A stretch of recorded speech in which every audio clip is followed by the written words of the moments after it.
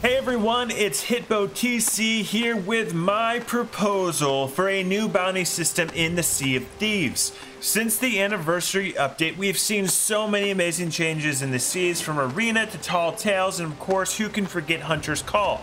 However, I have noticed that the seas lately have been more of a Sea of Tales than a Sea of Thieves. My proposed bounty system would help bring balance to the force uh, once again. Here's what I'm thinking.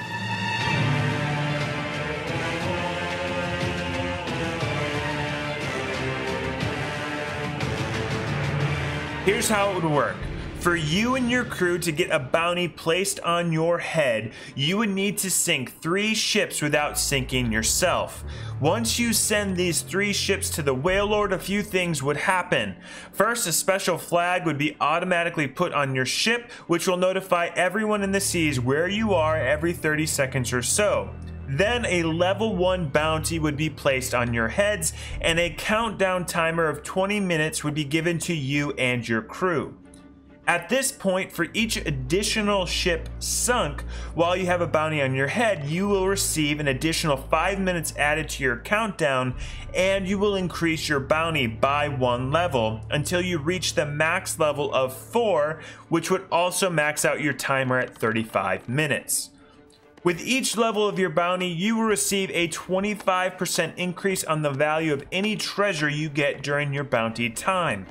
The max level you can get is level 4, which would give your treasure a 100% increase in value. If you manage to get to level 4 and you manage to stay alive for the length of your countdown, a special map will appear giving you the location of a special chest worth 3 times what a regular Athena chest is worth in gold and in reputation. At that same moment, your flag will change in color, notifying everyone on the seas what you are up to, meaning the race is on. This flag will stay active until the chest is dug up or you sink.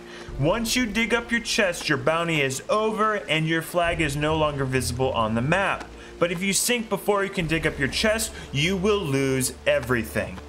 Now, for those interested in hunting down these scurvy pirates, there's a reward for you too. For each bountied pirate ship sunk, a special pirate hat and chest will float up from the sunken player ship, rewarding you with a ton of gold for cleaning up these seas from all these gold-thirsty pirates. Now, if you manage to sink a level 4 bounty ship, a special chest will float up, giving you what an Athena chest would be worth in gold and reputation. Now, with the bounty system, I see an expansion in two main areas in the world. The Sea Dog Tavern would be opened up in adventure mode, allowing pirates to get special cosmetics from a new faction called the Bounty Hunters.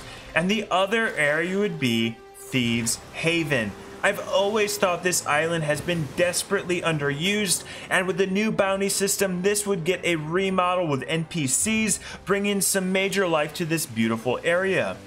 For every ship you sink while you have a bounty on your head, you would receive reputation for this new faction called, wait for it, Sea Thieves.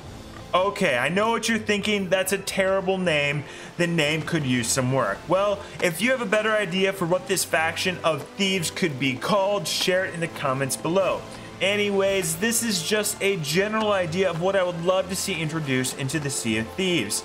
I think an introduction of a system like this would bring some PvP action back into our beloved adventure mode and help turn it back into the Sea of Thieves, not the Sea of Friends.